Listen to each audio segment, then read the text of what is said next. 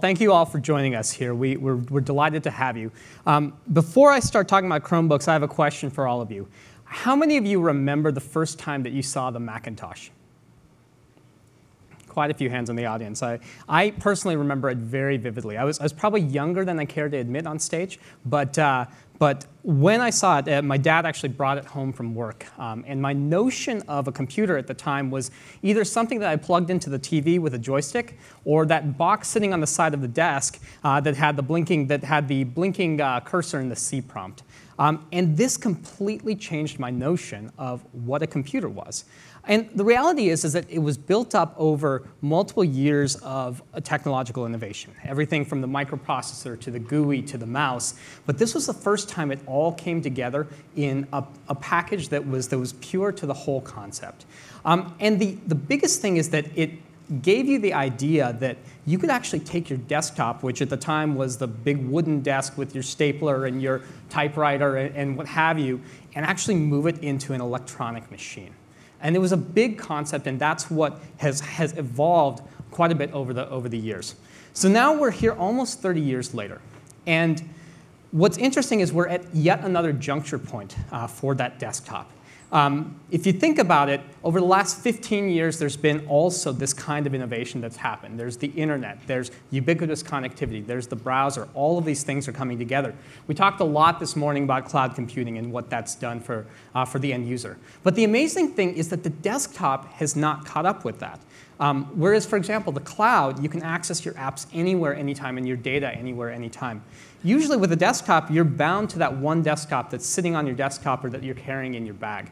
Um, with the cloud, you have, you have this amazing ability to, that it gets better and better and faster over time. But your desktop is actually getting slower and slower and actually more antiquated over time. And finally, the desktop, we all know, is very, very tough to manage, especially in an IT setting. Uh, there's a lot that you have to do to manage your desktop. So it's time for, for that, that, that change because it, it sticks out like a sore thumb, almost like how that C prompt stuck out in the time of the GUI. So Today, I want to introduce you to the Chromebook, the ultimate cloud computer. And I'm going to talk to you a little bit today about some of the things that the Chromebook can do to actually bring the properties of the cloud to your desktop.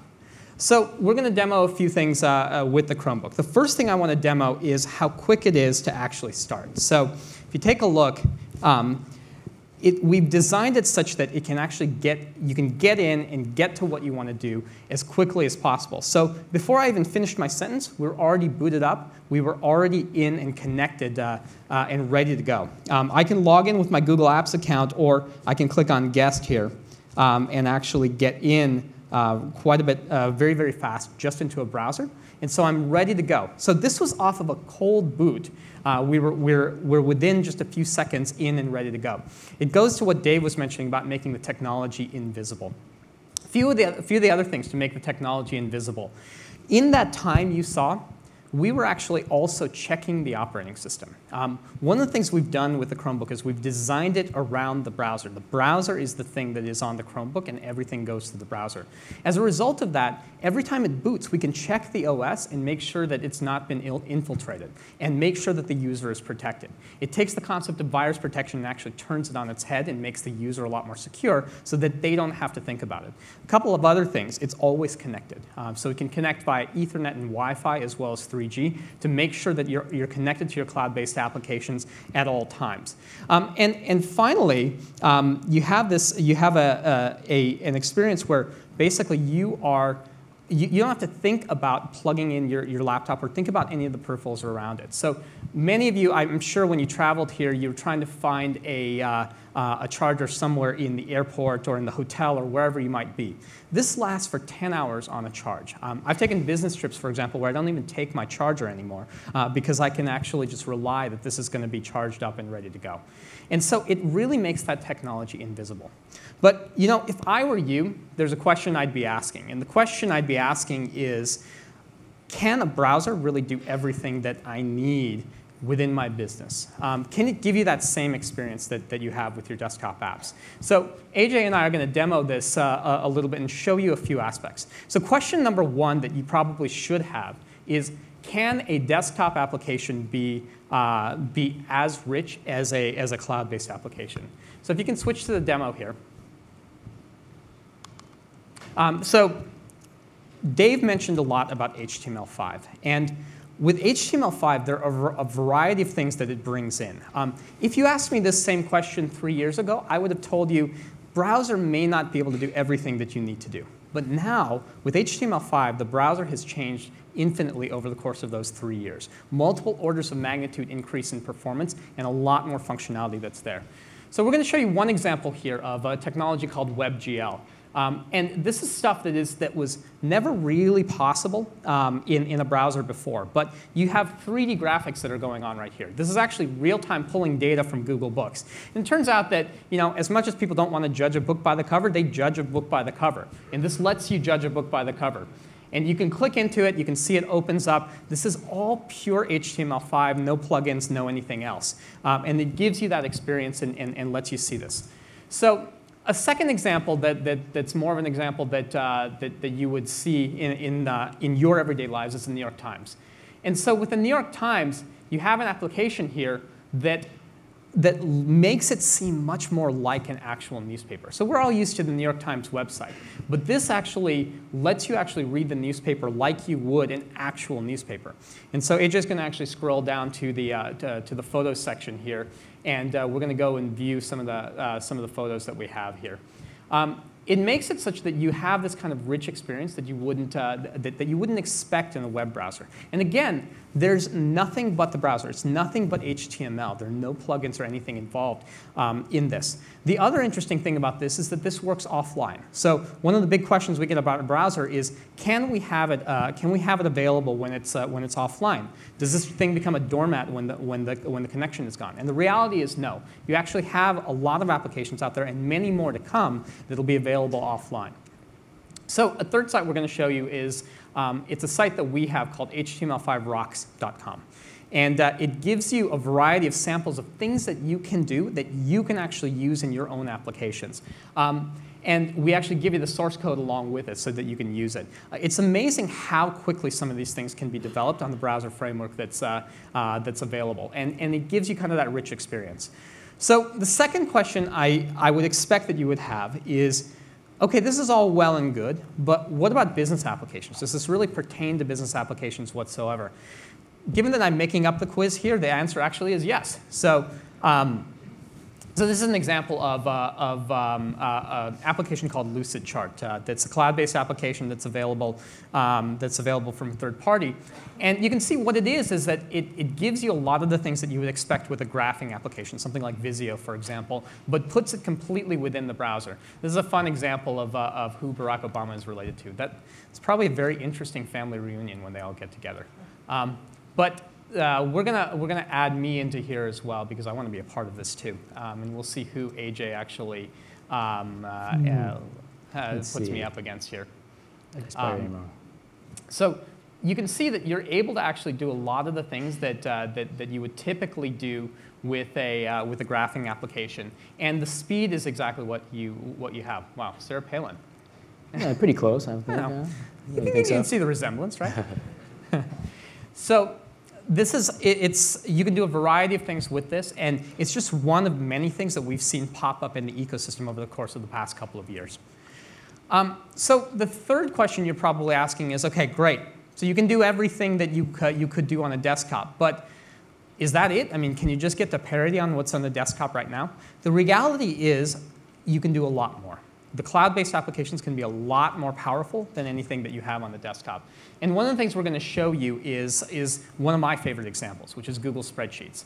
So Google Spreadsheets does everything that a typical spreadsheet will do, but then in addition to that, it'll actually do a lot more uh, that, you wouldn't expect with a spreadsheet. So um, this, is an, uh, this is a form that's on a spreadsheet that, that, that we have, and we're going to show you uh, that spreadsheet you can see with this spreadsheet, it's essentially taking form entries. And you can see as people are entering the form entries, you can see it populate on the side there.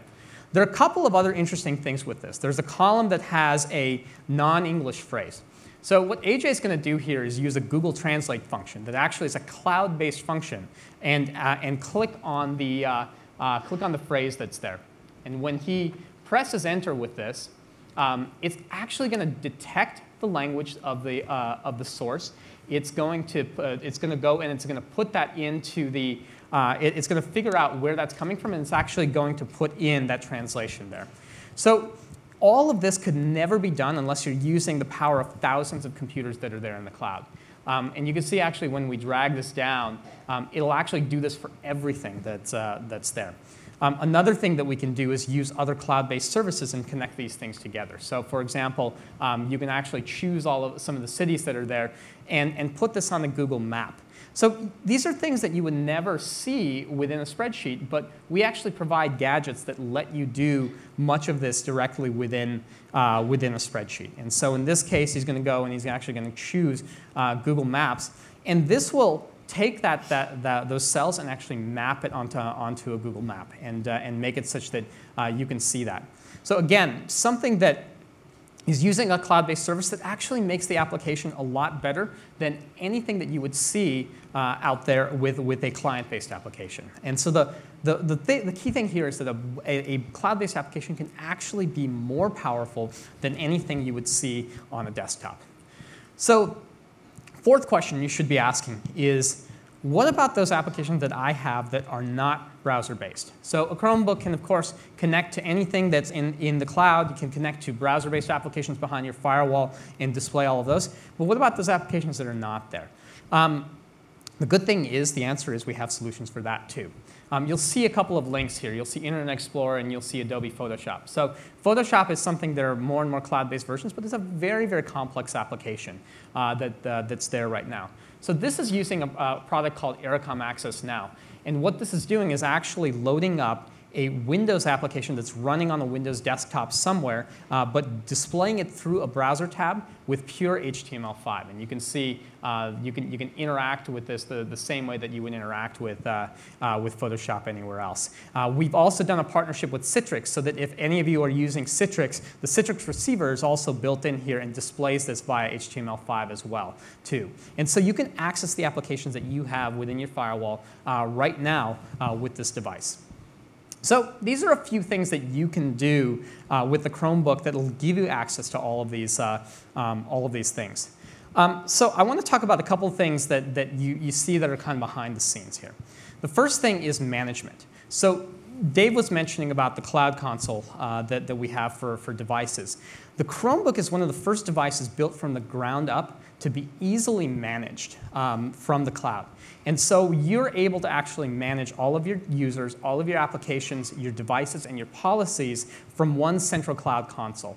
Um, and that comes with the Chromebooks for Enterprise product. Um, we, with, with, with what we've seen, we think we're able to actually bring down the total cost of ownership of the desktop by 60 or 70% because of the combination of the Chromebook and the management console that's out there. So the second thing is I'm about to do something that I would never do with any other device. So I have this, uh, this Chromebook here. This is actually one of my corporate laptops. This is something you'll, you'll see I've actually logged in with my corporate account. I'm going to go and I'm actually going to give it to somebody here in the audience, to keep. so you would never picture, good luck with that. so you would never picture doing that with any other device. I'd be freaked out about the, the, the data that's on the device. Um, is it backed up? Is he going to be able to get access to it? Um, all of that stuff. And with a Chromebook, the Chromebook is virtually stateless. There's very little information that's on the device. And the information is essentially just cached information that's also strongly encrypted on the device. So think about how many people lose laptops at, a, uh, at an airport or get stolen at some point in time you're impervious to that. Any Chromebook is your Chromebook, and it's, it really changes the model and puts it on its head. Another thing you can start to think about is pooling of devices. You don't have to have one device for every user. You can have a pool of devices for, for users. Uh, we've seen that, for example, in classroom usage, uh, where you're going to have a group of 30 Chromebooks uh, that are used by multiple classes that come into a classroom. And we've seen that in business environments where not everybody needs a laptop at all times. So um, it really changes kind of the model of what, uh, of what the desktop is all about. We've talked to you today about how you can make the user experience better and more invisible using a Chromebook, how web-based applications could be actually more powerful than anything uh, out there, and how, how a Chromebook can actually be a lot more manageable than anything you have out there. But the bigger message is that this is one of the first fundamental changes in the notion of the desktop in nearly 30 years.